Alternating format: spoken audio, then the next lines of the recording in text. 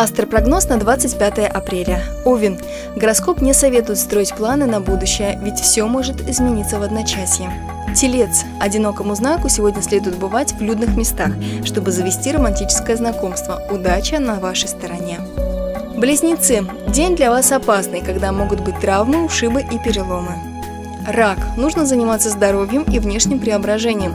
Вообще, если посвятите этот день себе, то не ошибетесь. Лев. Вас буквально растаскивают по частям, что мешает сосредоточиться на главных аспектах дня. Сохраняйте спокойствие. Дева, если в этот день вы будете активным и деятельным, то добьетесь успеха. Весы. Многие постараются наступить вам на горло, но тщетно. С трудом, но все-таки решится финансовая проблема. Скорпион. Могут всерьез обостриться отношения с человеком, которого вы искренне уважаете. Возможен жаркий спор в общественном месте. Стрелец. Гороскоп рекомендует прислушаться к шестому чувству, чтобы не ошибиться, кто настоящий друг, а кто лишь партнер по бизнесу. Козерог. Вы будете таким активным и импульсивным, что запросто обожжете своим темпераментом. Старайтесь держать себя в руках, а лучше вообще уединитесь и отдохните. Водолей.